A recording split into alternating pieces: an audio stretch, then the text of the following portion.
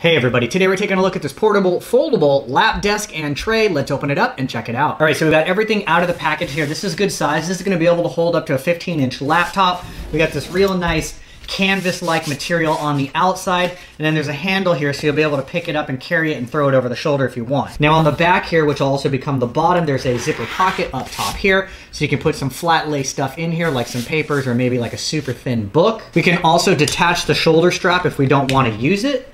As we open up the tray itself, we're gonna see that everything goes together real easy with Velcro.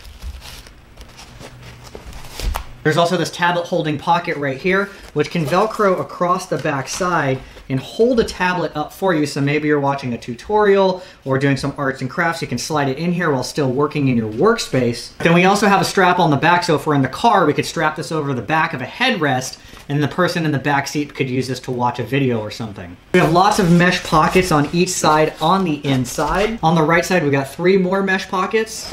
And then on the left side, we got some solid pockets over here. This could probably hold a water bottle as well. So as you can see, as we start to pack this thing up on the side here, I have enough space to actually fit a composition book. We've got a water bottle over here. Over here, you can put your pins, markers, whatever else. And then internally, I've got a power bank, I got some post-it notes, and my phone has a pop socket, so that hangs right over the back edge real nice.